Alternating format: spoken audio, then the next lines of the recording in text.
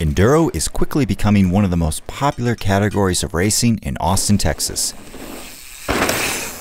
The terrain there is perfect for the long climbs and fast technical descents. Last year, I went to the Texas Enduro Cup and was blown away by how laid back and inclusive the Enduro community is. While the events have a wide range of categories to enter and make sure the trails are built for all abilities, some new riders may still be intimidated by the intensity of the race. And though there's usually families out cheering for their rider, it's hard to get around if you're a parent with kids in tow, let alone keeping those kids entertained all day in the hot sun. That's where Jeremiah comes in. He leads the local mountain bike group Team Trail Party. With the support of his group and local companies, they've created a new style of enduro race that's centered around the whole family with categories that encourage families to ride together, a shuttle to help people get around the venue, and even a dedicated racetrack for kids. They call it the Family Funduro. For Jeremiah, family and bikes have always been interweaved. Yep. Thanks, man.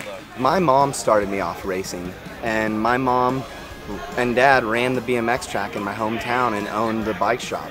And bike racing has always been a family affair for me. It, it, I think it always will be. I, I met my wife at a bike event. My son bike races and he's four, and it's it's deep within me. So I have been to so many different kinds of races and have seen so many families in parking lots sitting under tents, just waiting for their significant other to come back with nothing to do. So the Family Funduro thing is to let's include them. Let's give them shuttles out to places to watch their significant others or loved ones go down thrilling terrain and serve them food and just make sure the whole family has a good time out here because in the end the only way you get to go to races when you're in a family is if they agree for you to go that it's not sacrificing your family time. And a lot of the time when you do six or seven races, it does sacrifice your free time on the weekends. So it's basically just to get families involved and say, hey, this is fun for everybody if you do it right. Shake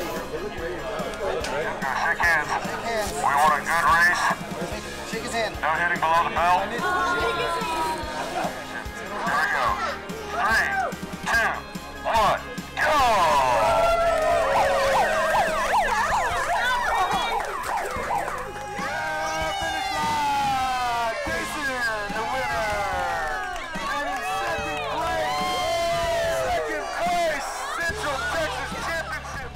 This event wasn't just because of Jeremiah and Team Trail Party. Other local mountain bike groups donated their time and resources to working on the trails for this event. This past spring, I moved up to Colorado, where you'll find some of the most iconic mountain biking in the world. Despite that, you'll often hear me talk about how great Austin is for mountain biking. That's largely due to the amazing community and how much they work to create and groom trails for everyone to ride. Events like these help strengthen that community and make sure that Austin will have amazing riding for generations to come. Do you have an event like this near you? If not, would you like to see your community create one? Leave a comment below. Until next time, get out there and find your next adventure.